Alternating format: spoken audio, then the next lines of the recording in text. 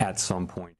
Pero si hablamos de bancos centrales y a la espera también del Banco de Inglaterra, el protagonismo esta mañana pasa también por Suiza. Finalmente, los Alpes han dado la sorpresa, era el único dentro de un escenario en el que se esperaba pausa en todos los sitios, ha dado la sorpresa y finalmente el Banco Nacional de Suiza ha decidido recortar el tipo de esa política monetaria en lo que era el cuartillo de punto hasta el 1,5%, diciendo que es probable que la inflación nacional se mantenga por debajo del 2% en el futuro previsto y se convierte así en la primera de las grandes economías en dar el pivote. Ha apuntado el Banco Nacional Suizo que desde hace meses la inflación ya ha vuelto a estar por debajo del 2% y es el rango en el que la institución monetaria ve la estabilidad de precios. Así, según las nuevas previsiones, es probable que la inflación también se mantenga en ese rango durante los próximos años.